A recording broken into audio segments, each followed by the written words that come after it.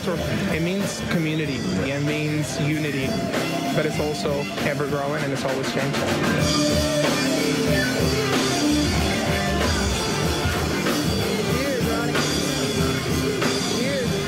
Well, good evening, everybody. I'm Jim Ladd, and tonight Innerview goes to Dixie for a shot of that good old boy brand of rock and roll. So I hope you're in the mood to get drunk, get loud, get dirty, and get into Lynyrd Skynyrd. got country roots. Um, love R&B and black music, you know. Everybody thinks we're a bunch of drunken rednecks, and that's correct.